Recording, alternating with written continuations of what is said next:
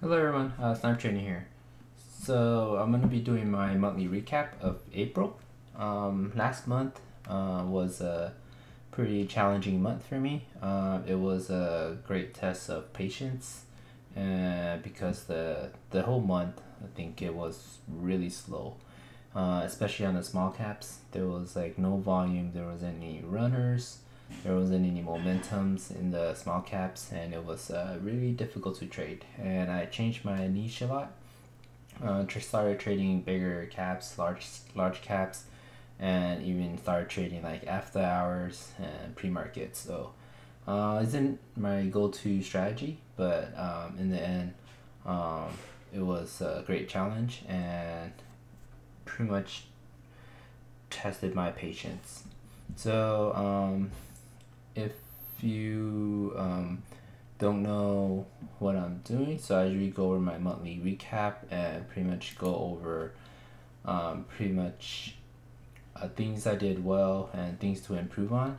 So I started on February uh, and then I'm doing it for each month. Uh, and then for the um, next month, I usually put uh, the things to improve on into my um, next month uh, to to give me a, some grading score on how I did on those things, those said things, um, and pretty much uh, I put all my P and L on the monthly calendar like this. So if you want to go into more details, I have videos on them uh, daily. So um, just choose a date and look at my um, video his video archives and check in more details what went wrong or how I um, make those profits. So just going over my statistics here. Um, so the total monthly P&L for uh, month of April is 357. Um, the total win is 1,451. Total loss is 1,094. My max win day was um, 228, which was just last week.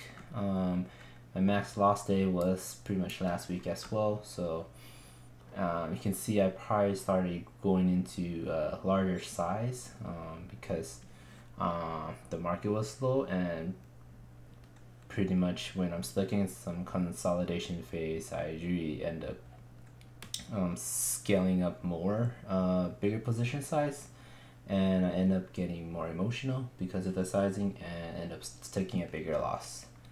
Um, my average winner is um, $112 with an average loser of 137 so that turns out to be a 0.82 win loss ratio. So this one I want it to be you know at least greater than one or two um, a, a two to one ratio because uh, you want to make more than um, your losses uh, so I ended up having a 62% winning days with uh, 13 days uh, win, and uh, that makes a 9 day loss. Um, but pretty much just a $357 monthly win.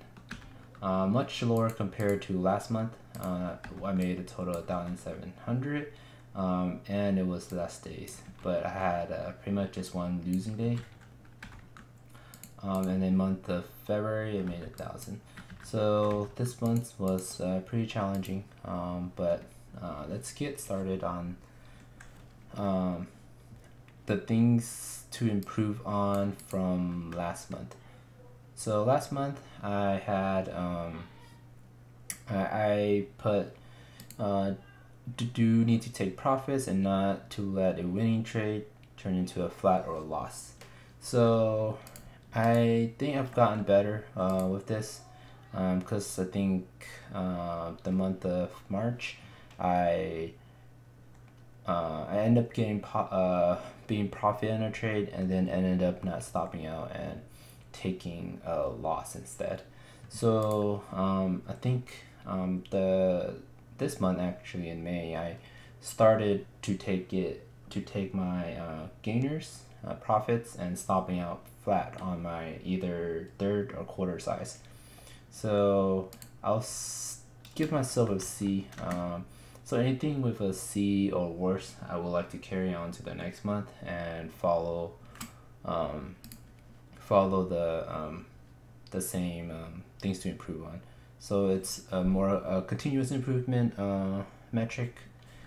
Um, so the next one is not to boredom trade or jump into low quality setup. So um, the month of April, whoa, I think I did this horribly. So I think I did a lot of boredom trading because the market was just slow and ended up trading just high uh, high cap stocks and not just not trading my niche. So I would give myself a D. You know, so I did pretty poorly on that. Um, okay, so things I did well this uh, last month in April.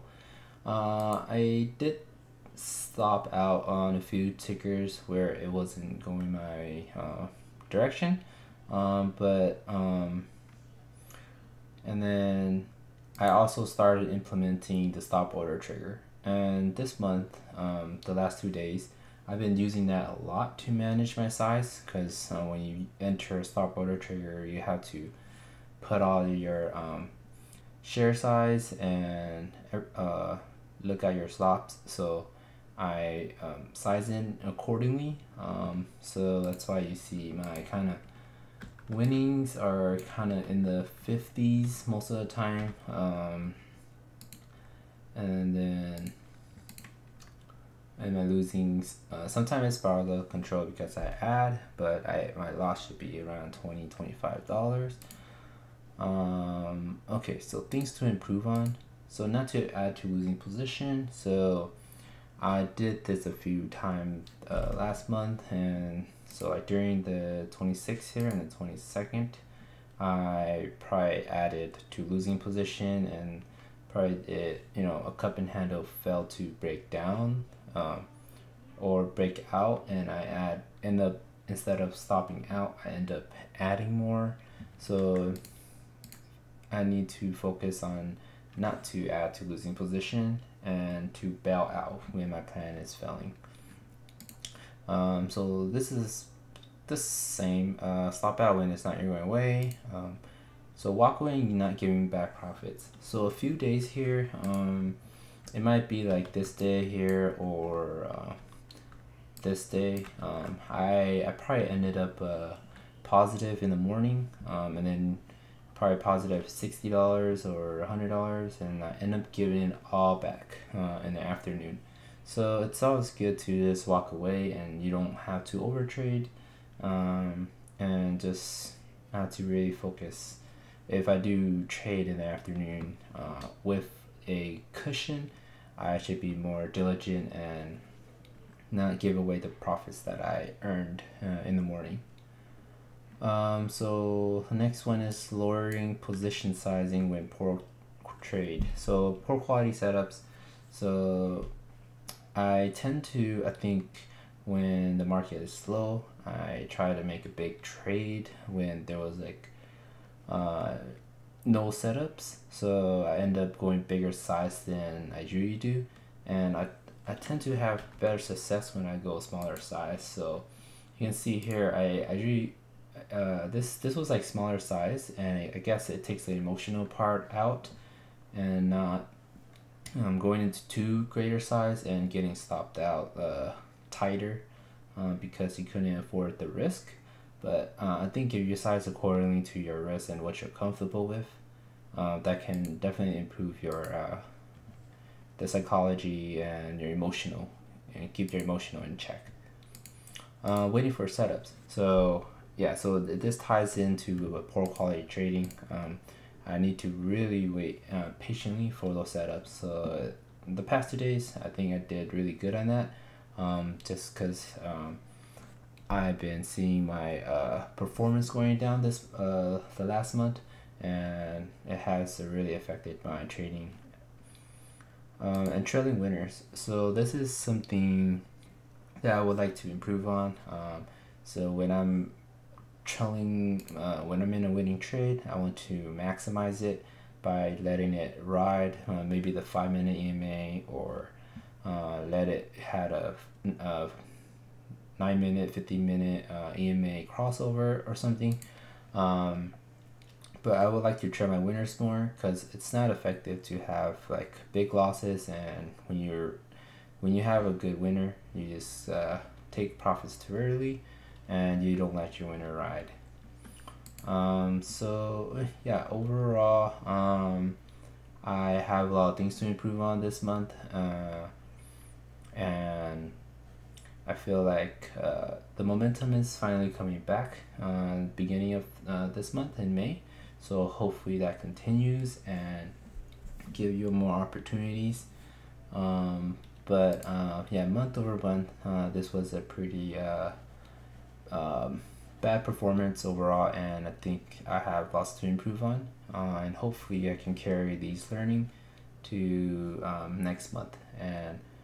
Um, we'll keep track of that and hopefully next month I can reflect on these uh, improvements and hopefully I can get a better score on them. So um, as always, I would like everyone to thank you. Thanks for watching for my uh, monthly recap. And yeah, if you enjoy it um, and would like to watch my daily videos, um, don't forget to subscribe, like, and comment. Thank you. Bye bye.